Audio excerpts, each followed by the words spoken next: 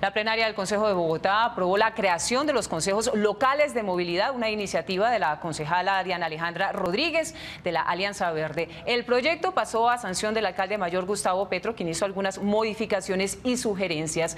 Vamos con nuestro compañero Freddy Naranjo, quien se encuentra precisamente en el Cabildo Distrital. Freddy, buenas tardes. Pues Omaira, el Consejo acaba de pronunciarse sobre este proyecto de acuerdo de consejos locales de movilidad.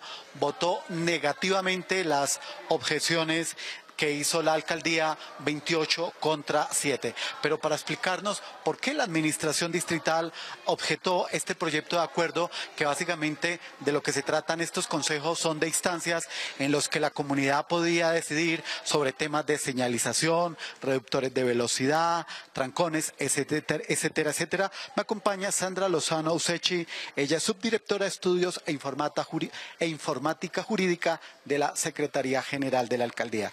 ¿A qué razones obedece? Básicamente em, el tema eh, principal está dado por la competencia. Y en este sentido se ha pronunciado eh, el Tribunal de Bogotá indicando que eh, para hacer una modificación dentro de la estructura del Distrito Capital debe hacerse a iniciativa del alcalde de Bogotá. Y en este caso no es así, se está haciendo la proposición directamente por el Consejo de Bogotá, lo cual genera incompetencia porque debe ser a iniciativa del alcalde mayor. Muchísimas gracias a la doctora Sandra. Y escuchemos ahora lo que dijo la concejala autora de este proyecto. Ella es Diana Rodríguez de la Alianza Verde.